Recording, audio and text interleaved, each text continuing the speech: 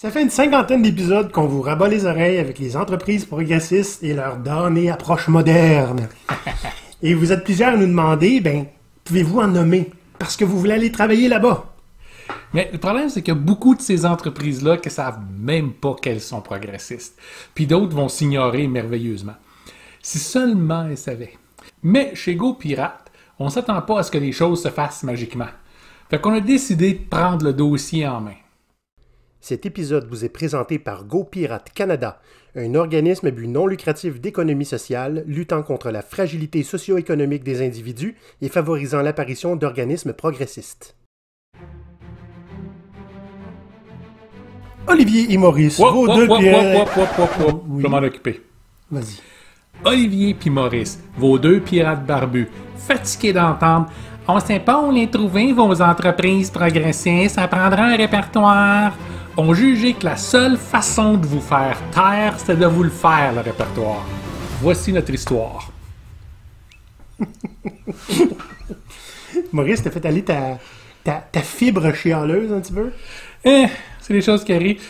Sans blague, il doit y avoir au moins une, une fois par semaine quelqu'un qui nous demande Eh, ça prendrait un, un répertoire, on n'arrive pas à savoir à trouver où est-ce qu'ils sont puis comment est-ce qu'on peut appliquer. Vous avez tout à fait raison, ça en prend un répertoire. Oui. Puis vous faites bien de vous plaindre, pas nécessairement avec euh, le ton que tu prends, là, Maurice.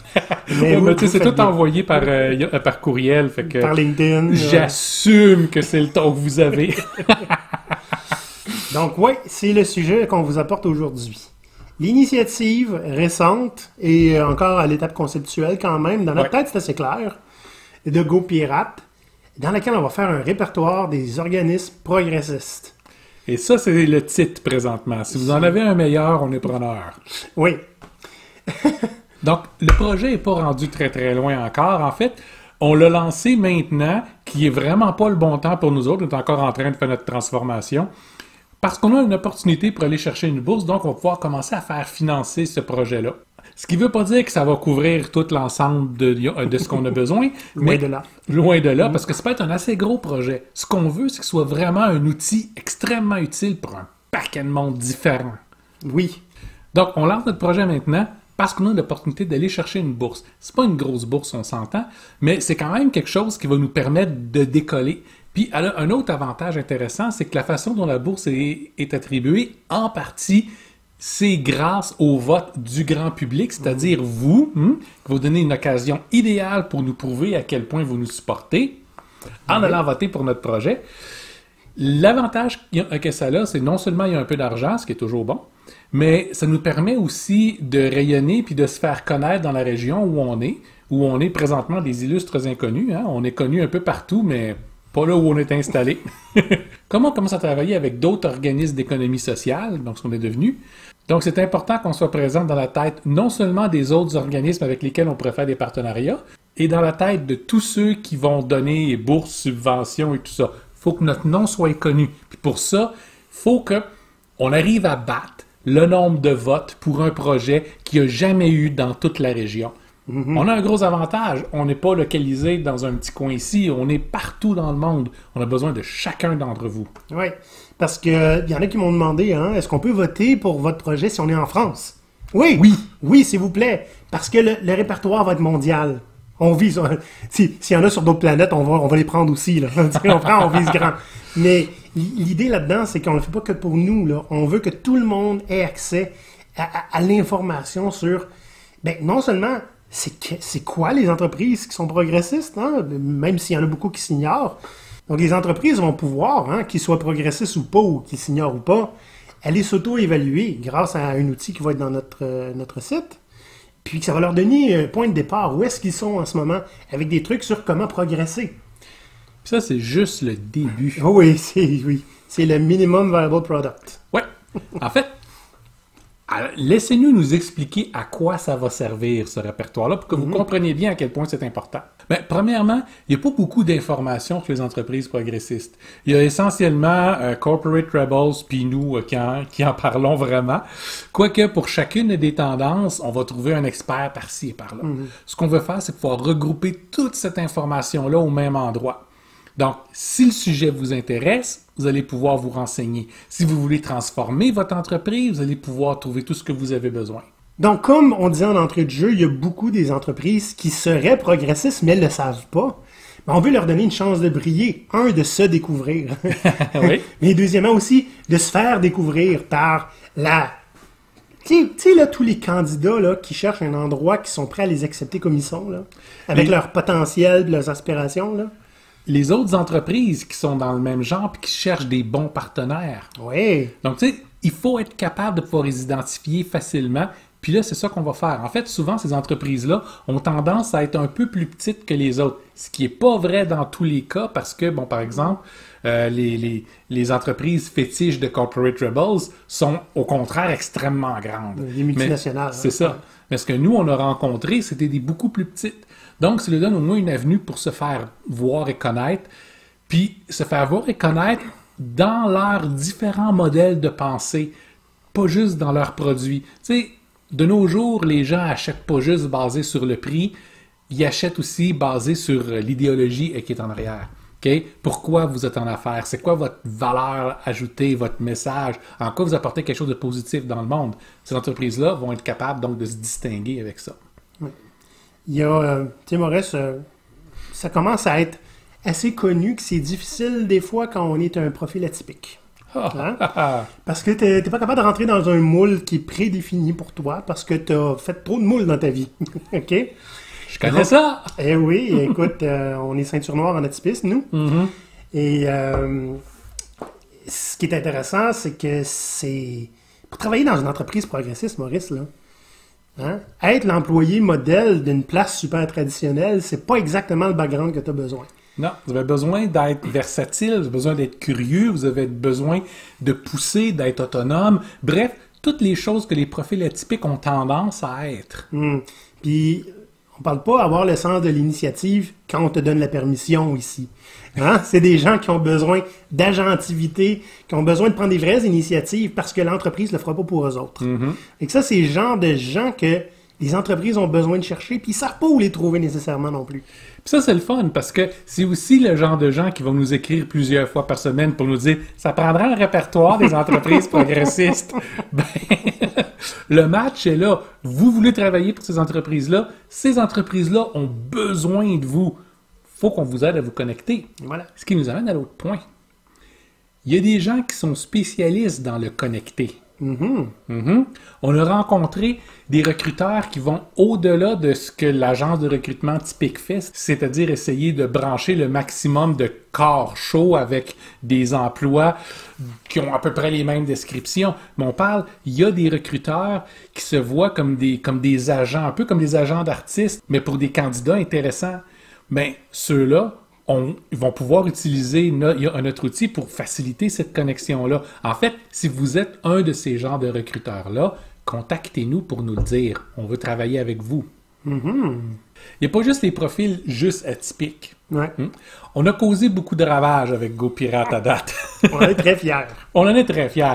On a piratisé beaucoup de personnes dans notre auditoire. Des gens qui seront plus capables de tolérer une autre entreprise traditionnelle. Ils veulent avoir quelque chose de, ils ont de différent. Pas parce qu'ils n'ont pas le choix, parce qu'ils sont atypiques, mais parce qu'ils ont atteint le point de non-retour puis ils ont dit c'est assez. Plus jamais. Plus jamais. pas jamais. Jamais. Jamais. Donc, vous allez être les, les candidats idéaux pour travailler avec, euh, avec notre euh, portail. Un autre point super intéressant, c'est que tous les concepts d'entreprise progressistes, puis tout ça, ce sont des modèles émergents. Ouais. Puis les modèles émergents sont pas très populaires parce qu'ils sont émergents. Faut que tu ailles lu le livre. C'est ça. les gens les connaissent pas. Il n'y a pas beaucoup de littérature de, de fait dessus, que ce soit des livres plus populaires comme ceux que vous allez pouvoir acheter partout dans toutes les librairies, que ce soit des articles et puis des études plus scientifiques faites par des, par des chercheurs en gestion.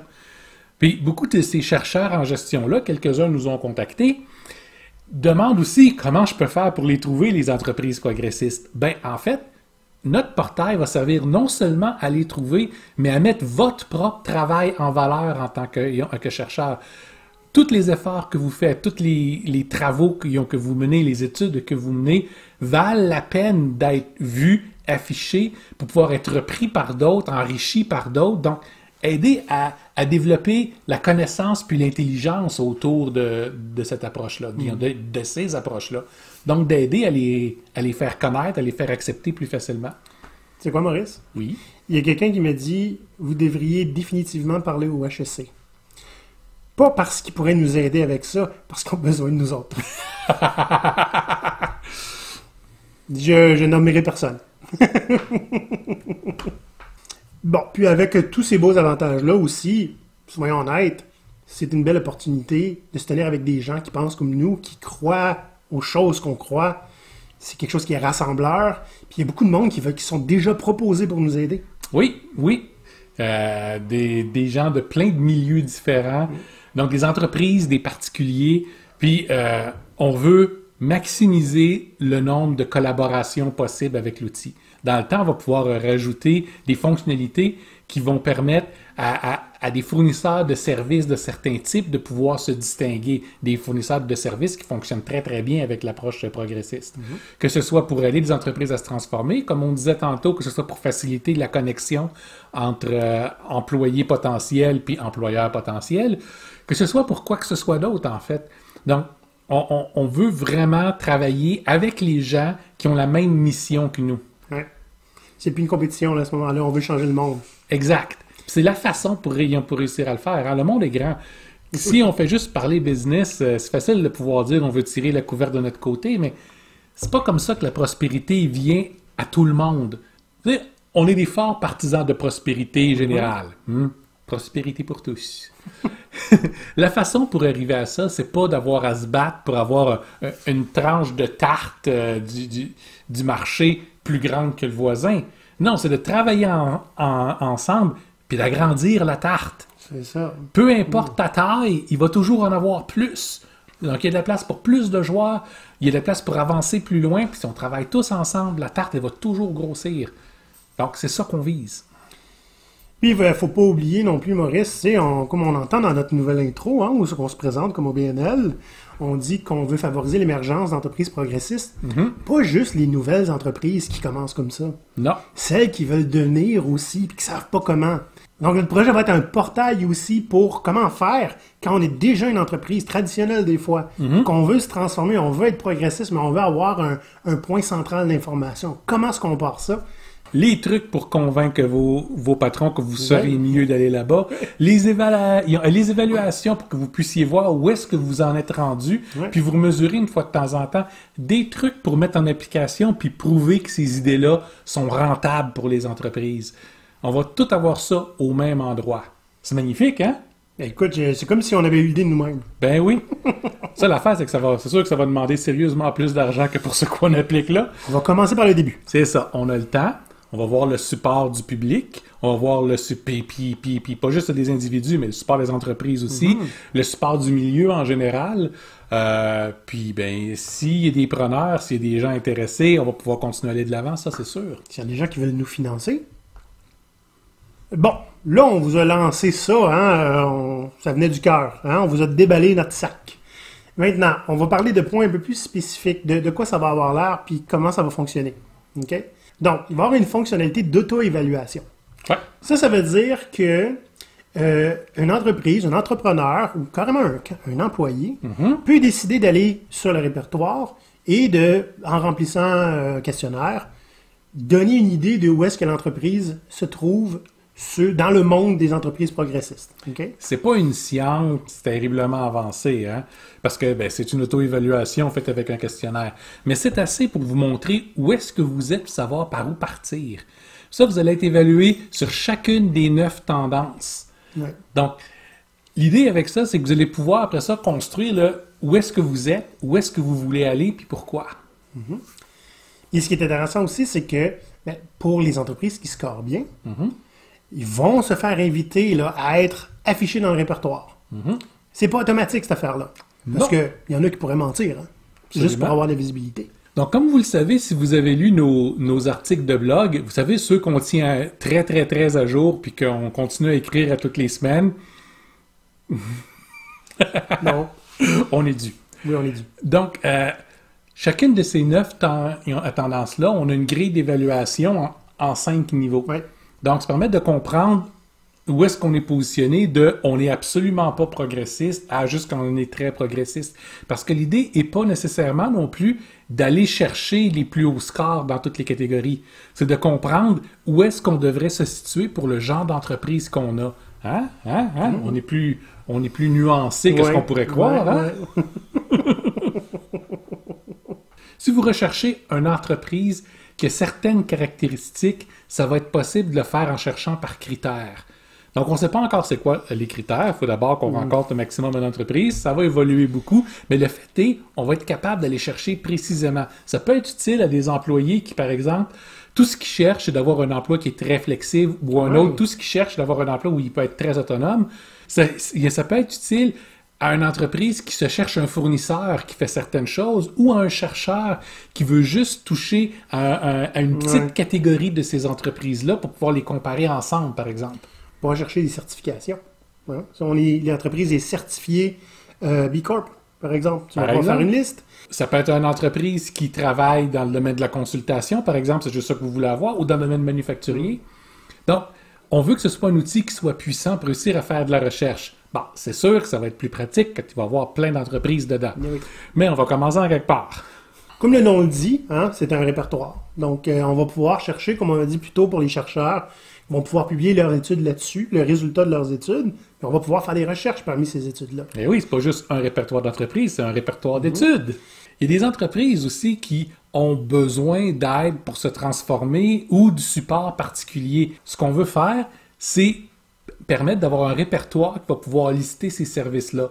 Donc, les gens avec qui on travaille, qu'on connaît, qu'on savent, qui, épousent vraiment l'approche complète, pas juste une partie complète, ou au moins qui savent où est-ce qu'ils s'insèrent dedans, ben, ils vont être en mesure de pouvoir offrir le genre de service que vous, ben, que vous ou que les entreprises vont avoir besoin. Donc, ils vont pouvoir être listés là aussi. Donc, évidemment, avec euh, ce genre d'outil-là, il y a un paquet d'autres fonctionnalités qui peuvent émerger. hein. On parlait de matchmaking, candidat, organisation, des outils de collaboration, n'importe quoi. Qui, est- il y a probablement des gens qui vont nous offrir de, de, de donner à tout ce beau monde-là un moyen de communiquer ensemble. Ça peut être... c'est open bar.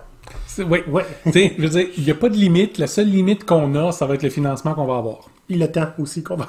Ben, si on a assez de, de financement, on va pouvoir en acheter du temps. Oui, oui, oui, c'est- oui, c'est c'est effectivement. Bon, maintenant qu'on a une petite idée de c'est quoi le projet, comment est-ce qu'on fait ça, Maurice? As-tu déjà fait ça, un répertoire, toi? Ça doit être al contrôle, euh, Ouais, répertoire. Altable pas. 4-5 fois. C'est ça. ouais. ben, comme d'habitude, on le sait pas. Ça nous a jamais empêché de rien faire. Jamais. Donc, on a réussi à monter notre premier plan de projet qui a été jugé pour être suffisamment bon pour être accepté dans le concours. Oui. Donc, on sait où est-ce qu'on s'en va. Maurice, là, non, j'accepterai pas ça. Ton plan de projet est malade. OK? Il était impossible à ignorer, ever. Et on le dit, on te le redit avec le- les membres du CA, OK?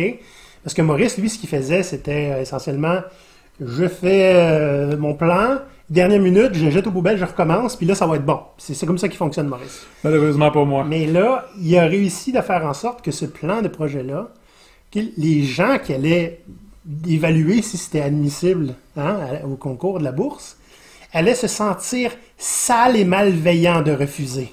OK? C'est un excellent plan de projet. Il est vraiment bon, honnêtement. Puis je pense qu'on devrait éventuellement le rendre public. Ben, en fait, oui, je pense que ça va être important que sur Ouais. le site du, répertoire.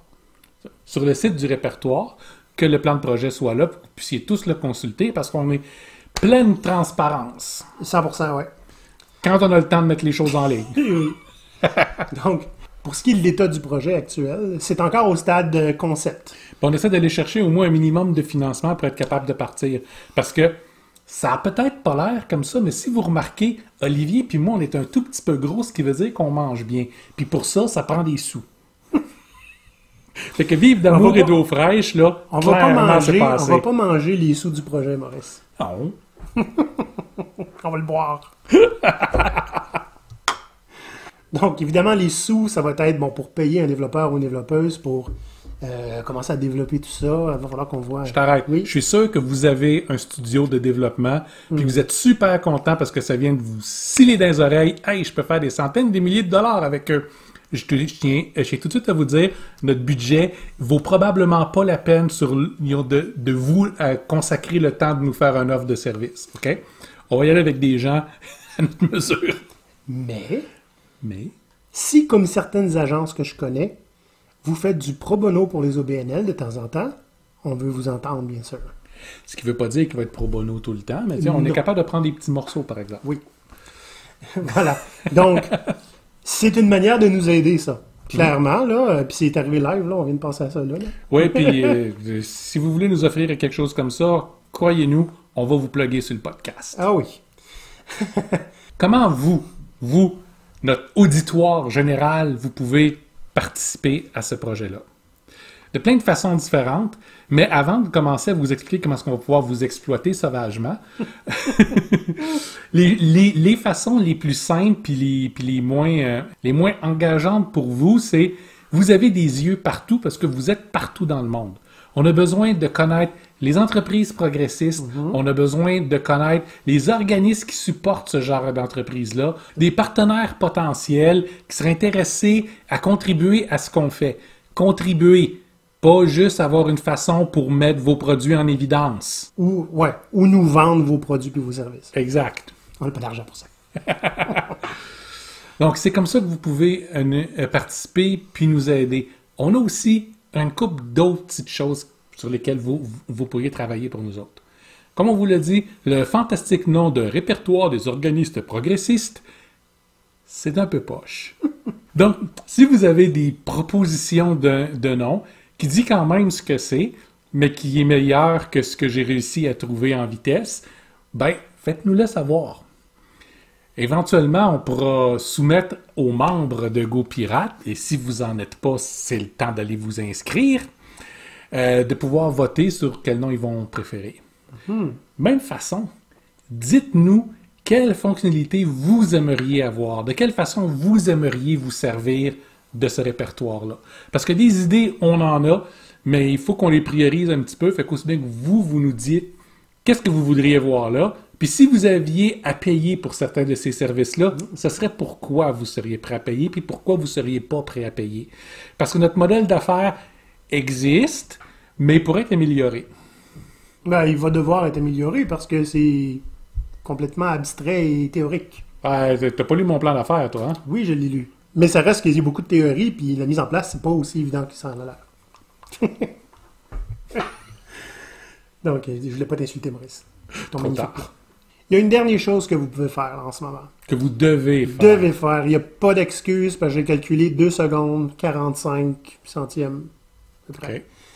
Euh, c'est que là, on est en novembre 2020. La date finale pour soumettre un vote pour appuyer notre projet, c'est le 29 novembre. Ça veut dire que vous avez à peu près une semaine et demie encore pour nous appuyer. Si vous écoutez ça en 2021, oubliez ça. OK?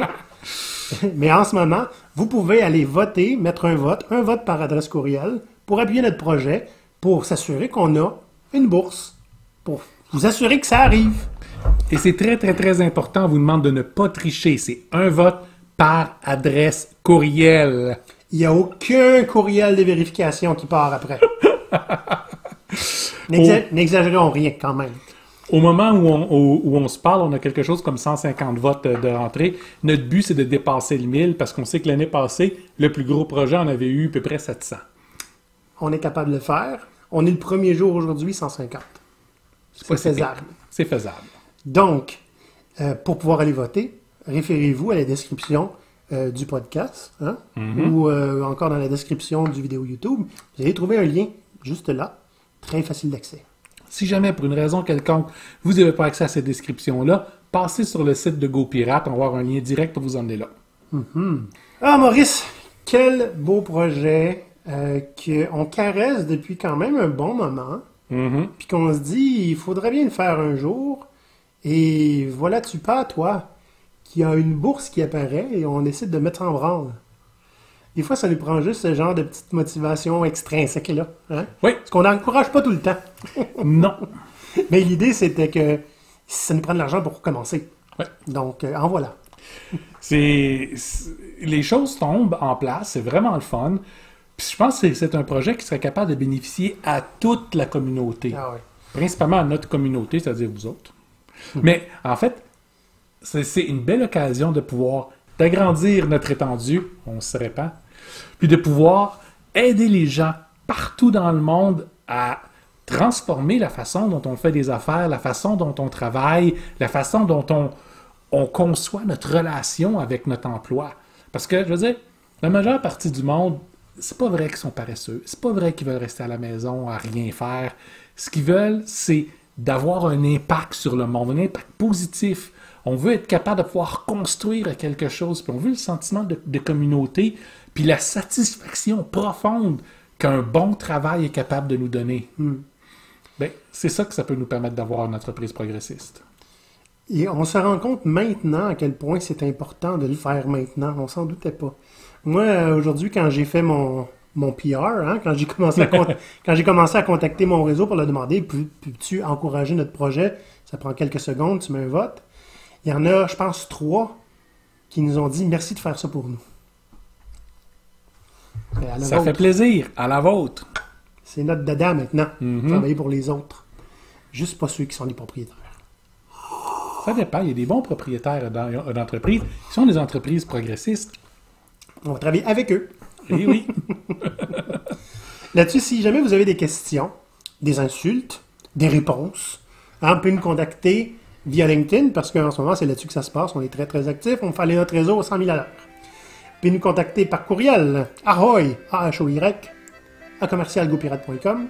Et évidemment, vous le savez, si vous êtes sur YouTube, vous faites like, sans poser de questions, et vous cliquez sur la cloche pour rien manquer. Puis à tous ceux qui nous disent on devrait être plus présent sur Facebook puis sur Twitter, vous avez 100% raison et on accepte votre candidature pour être notre euh, publiciste pour ces plateformes-là. Parce qu'honnêtement, on n'est pas très bon là-dessus. bénévole pour l'instant, mais maintenant on va avoir des budgets, ça va être payant. mais sinon, ouais, c'est vrai, GoPirate, éventuellement, va se chercher un gestionnaire de communauté. Parce que ça va nous en prendre un, ça, ça, c'est sûr. Fait que si jamais vous faites ça, vous avez du temps de libre, puis vous nous adorez, puis vous dites comment est-ce que je peux faire pour aider à rendre le monde meilleur sans demander d'argent, hey, on est là. Mais sans blague, on a prévu ça dans les budgets bientôt. Oui. Ça va venir.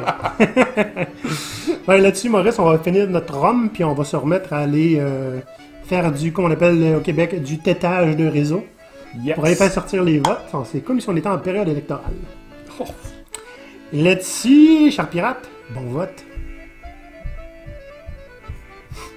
C'est cool ces épisodes-là.